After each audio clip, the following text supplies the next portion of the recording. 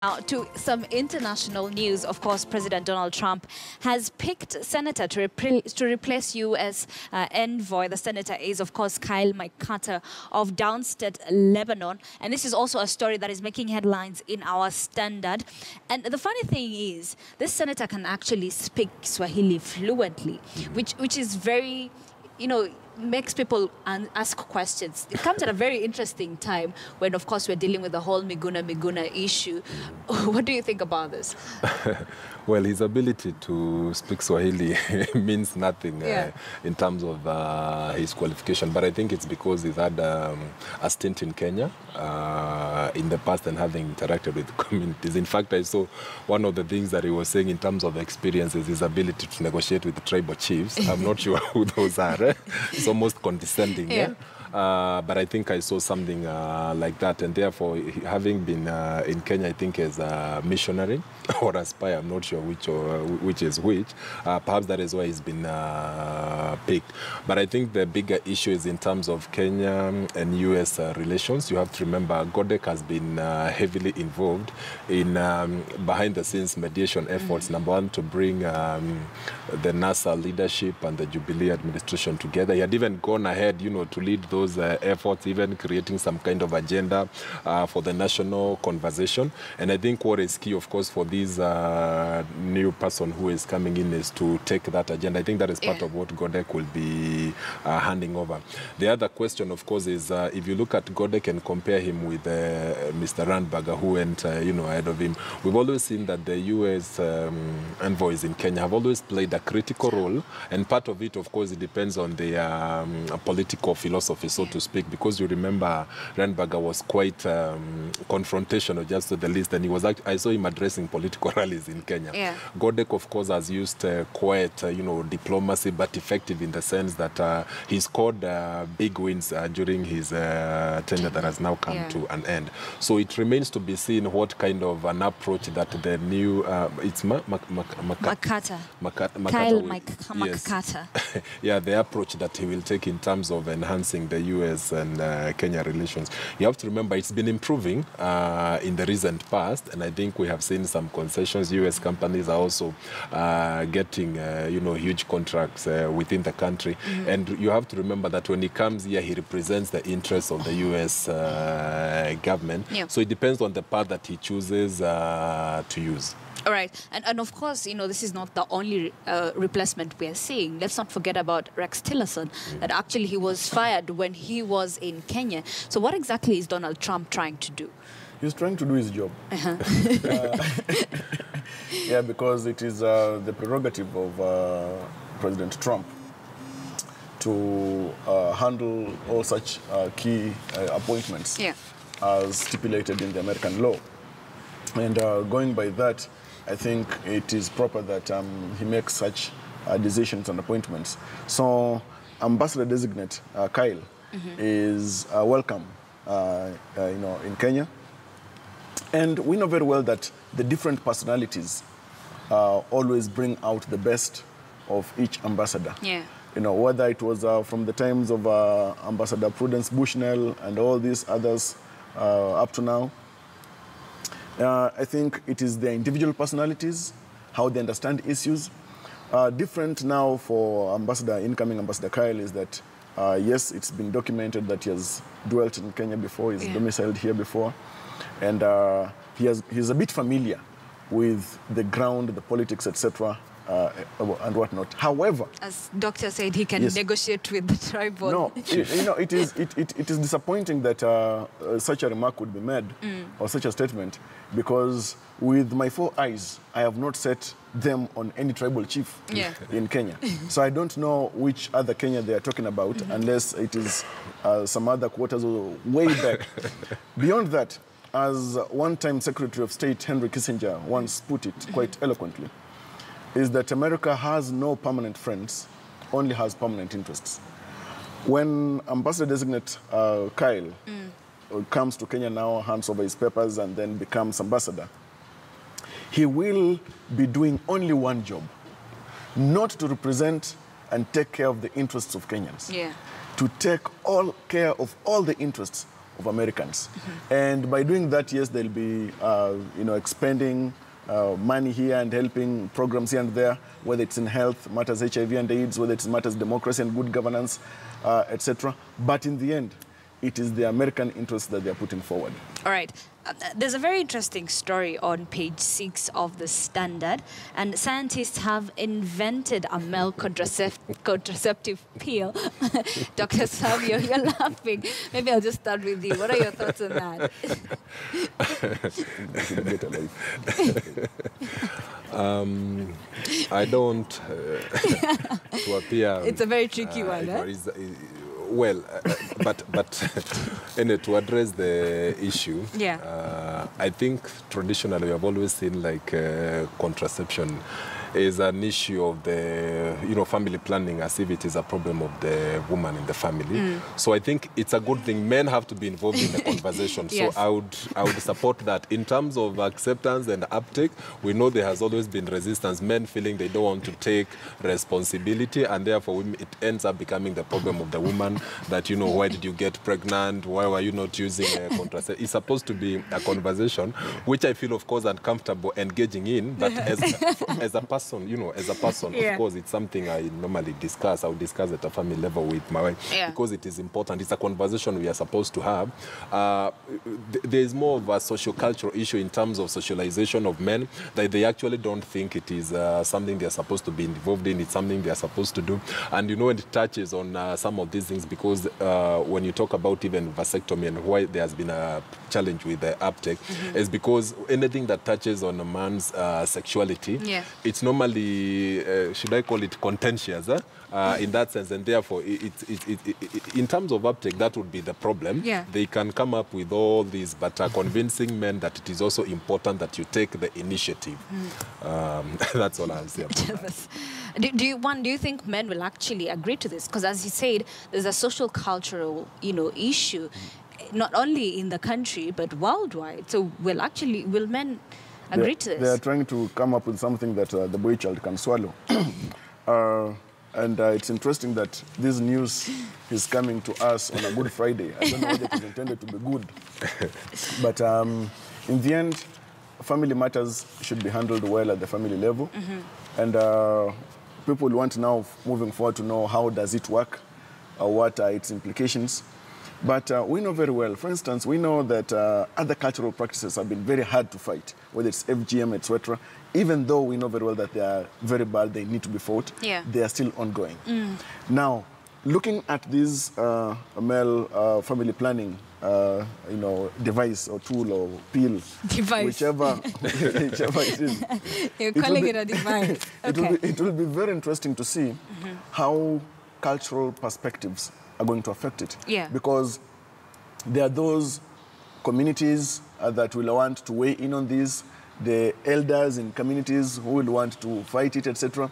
So it's a matter that uh, the Ministry of Health will want to have a, a very clear conversation. And we know very well uh, the place of public participation. So they may want to use that platform to have various discussions, especially at community levels, Yeah. and see how this works. But Yeah. One thing that your guess is just as good as mine. It is not going to be received with uh, allulations and Sp- party Speaking of and- and receiving, let me let me just read something out for you. How it is used: oral, the pill can be swallowed with water, just like any other tablets, or it can be taken by mixing with food for a drink. So, Ju- just just for the record Yeah.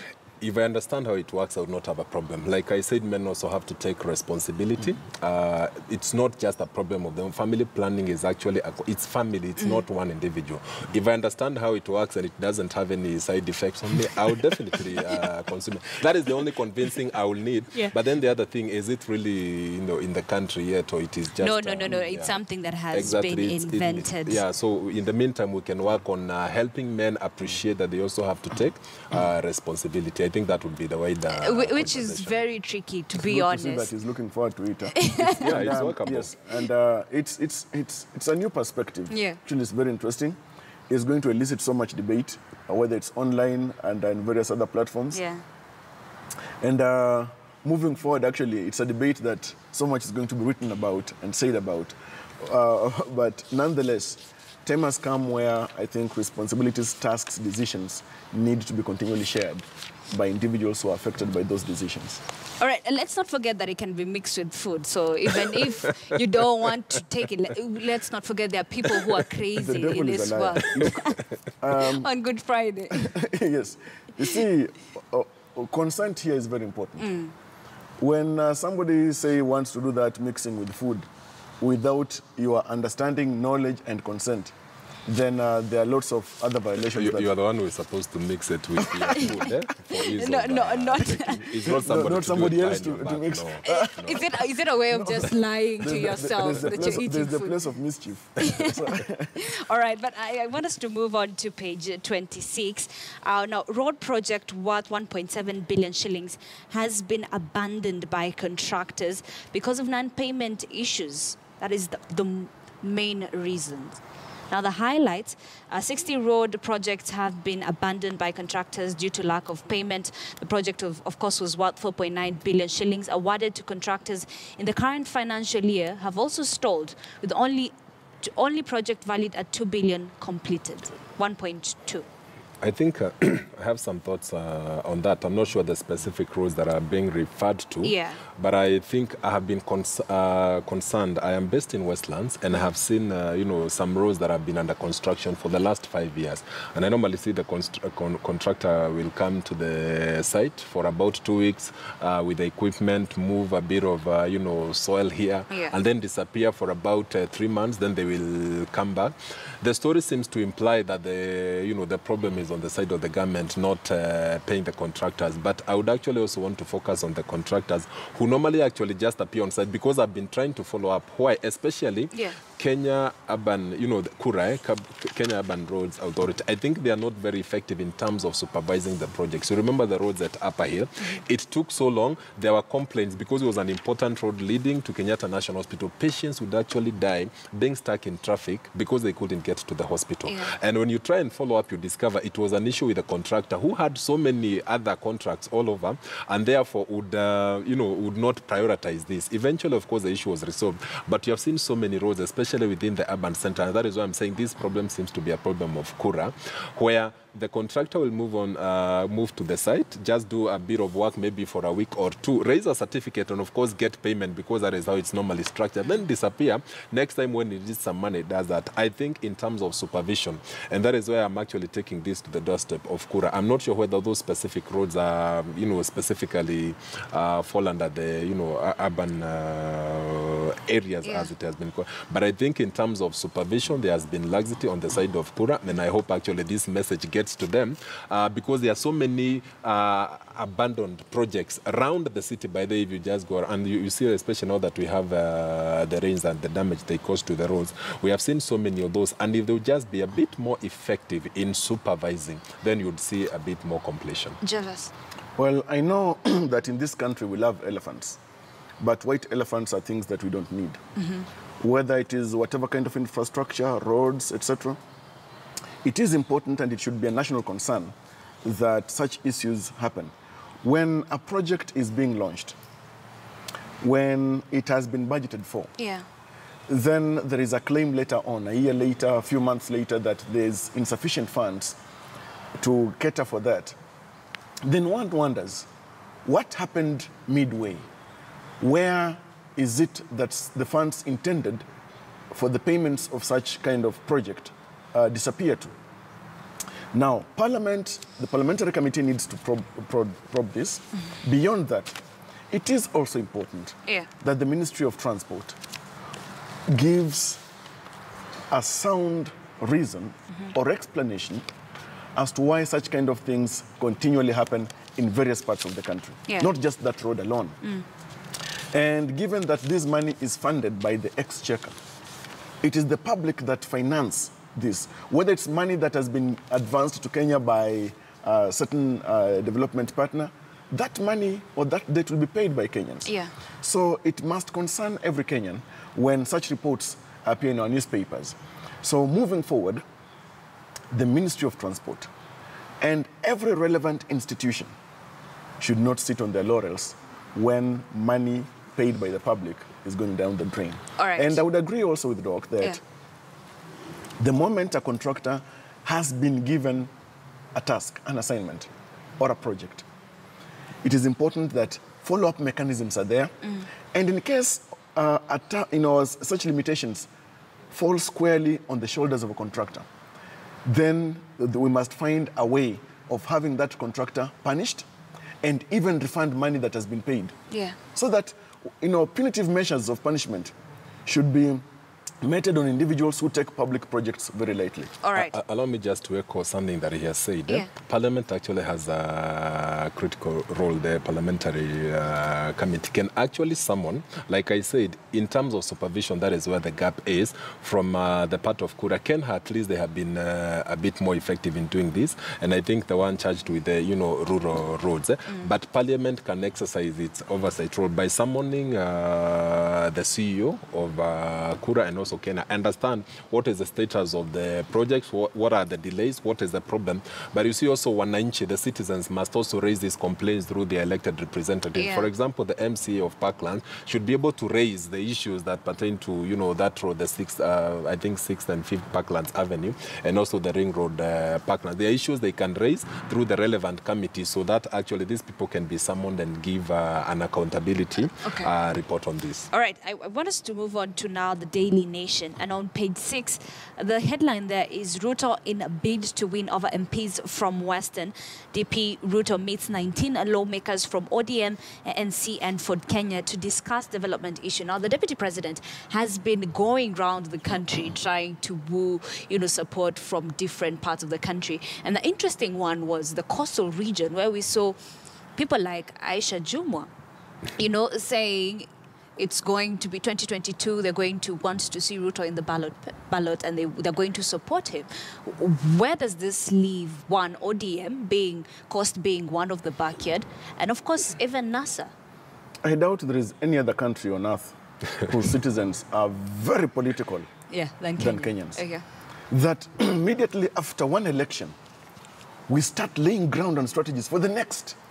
Even when our shoulders are suffering the weight of tasks and responsibilities that have been given by the previous ballot. Now, it is all right for the deputy president to move across this country Yeah. and meet leaders and win their support on how they can jointly implement government projects, which now is their most urgent task.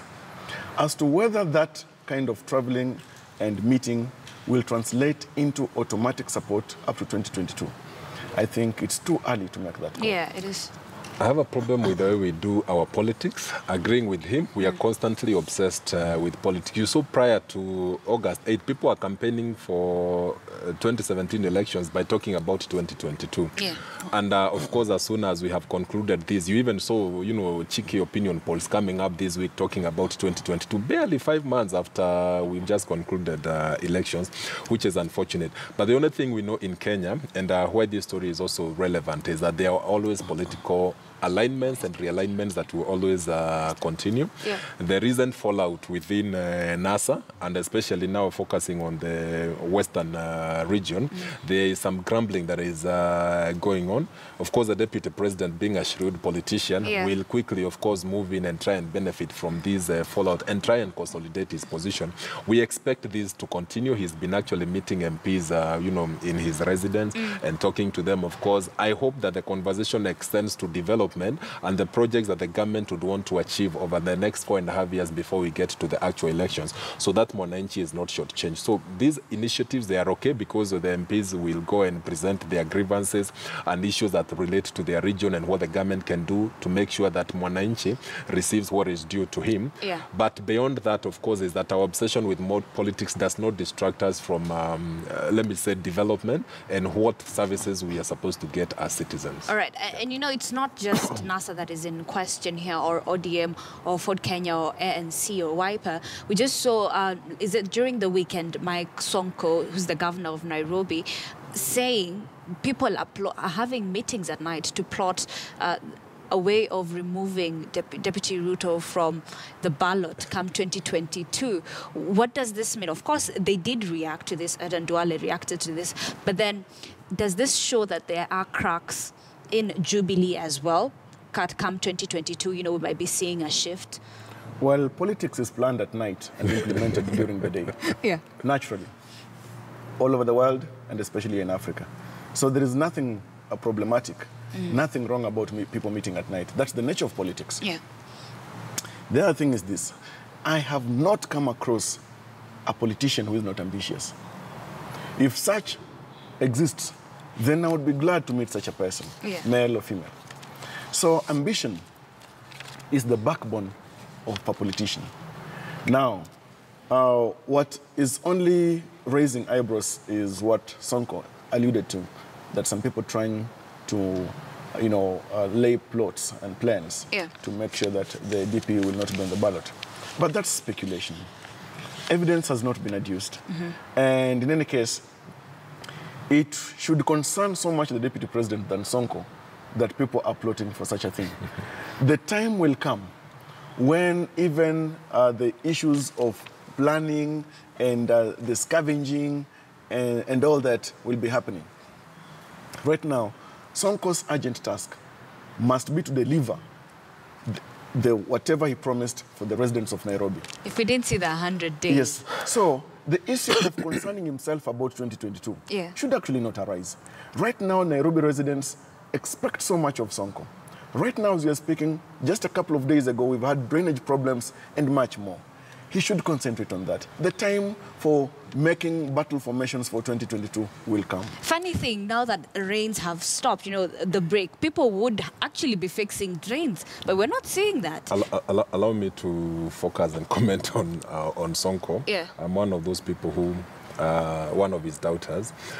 But um, you saw him, I think it's yesterday or the day before yesterday, early in the morning, almost threatening to resign. Wasn't nitawaelezea kuna vitu, you know, and all that, and uh, threatening to resign.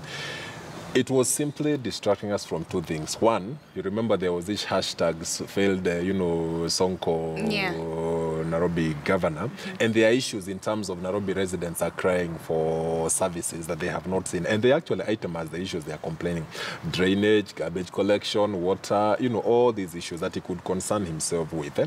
The other thing was, of course, his uh, statement, uh, you know, about the night meetings, which I'm sure landed him into some kind of trouble because if you looked at the context of the meeting, the other speakers, uh, they, when they were, um, you know, giving their support for the deputy president, he's the one who raised this uh, particular issue, and therefore may have just caused some bit of heat uh, within the coalition. I will not say that there are cracks within uh, the coalition. This is normal because there are people who have become who are a bit uncomfortable with the handshake. Remember, Yeah. because they are feeling it could disrupt the internal plans of uh, Jubilee, which is normal in politics. And these are things that are going to continue. But like I said, we should not allow these to distract us. Now, in the case of Sonko, from the urgent task, like my brother has said, to deliver services to the people of Nairobi, for the other elected politicians to deliver the services that the people elected them Yeah. uh, to do. 2022 will be there. There will be so many realignments between now and 2022. We've seen actually some cheeky opinion polls, Yeah. uh, like the one that was released just the other day, just introducing the conversation of politics. We may be obsessed with that, but we must remember the important thing is to deliver uh, services to the Kenyan people in terms of uh, not only the big four that the president has spoken about it, but it also at the level of the counties where we must also see uh, citizens receiving what is due to them. All right, and, and you know, you know, looking at 2013, looking at 2017, uh, Deputy President William Ruto delivered the votes for Jubilee. Do you think the central, uh, you know, community will do the same come 2022? Well, we are finding ourselves in the same hole uh, that we are accusing politicians of falling in. As to question of uh, delivering the vote, uh, yes, he delivered for Kenyatta. We are waiting to see whether he'll deliver them for himself, and then other people to help deliver more for him. But um, we know very well that the arithmetic will change, change drastically. We are going to see new love patterns politically. We are going to see new enemies. We are going to see new ambition and new possibilities. New kids on the block are going to play a, a key role. Yeah. We are going to see also other new entrants. And much more, we are going to see other heavyweights fall by the side. Mm. It's just too early. All right. Maybe to respond to the same question, you asked whether the people from the Central. central region will reciprocate. By and large, I think so. But to agree is that Kenyan politics evolves overnight. So many changes happen. Coalitions actually are formed very close to the elections, and therefore it remains to be seen. If I was a politician, and I think that is what the deputy president is doing, and I have ambitions for 2022, is to build broad-based support, go to every part of the country. I'll not just bank on a particular region. Yes, there is where you come from, you call it your stronghold, but I think the best politics will be to reach out to each and every part of the country because uh, two communities will not get you there. You Correct. need broad-based support, and that is what a smart politician should be doing now. We're living in interesting times and, of course, an interesting country. Thank you very much, gentlemen. To my immediate right, Dr. Sam Kamau. He's a lecturer at Aga Khan and also a political analyst. And next to him is Javas Bigambo, who is a governance expert and consultant.